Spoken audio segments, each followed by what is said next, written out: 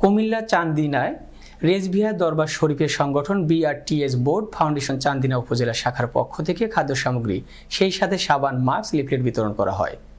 এগারো এপ্রিল শনিবার সকালে কুমিল্লা চান্দিনা পৌরসভায় সাইকোর্ট, মাদ্রাসায় নুরিয়া প্রাঙ্গণে আত্মমানবতা সেবার লক্ষ্যে গরিব, অসহায়, কর্মহীন একশো পঞ্চাশ পরিবারের মাঝে উক্ত খাদ্য সামগ্রী বিতরণ করা হয়। বিতরণকালে উপস্থিত ছিলেন ফাউন্ডেশনের কেন্দ্রীয় মহাসচিব মুফতি কাজী সিদ্দিকুর রহমান রেজভি।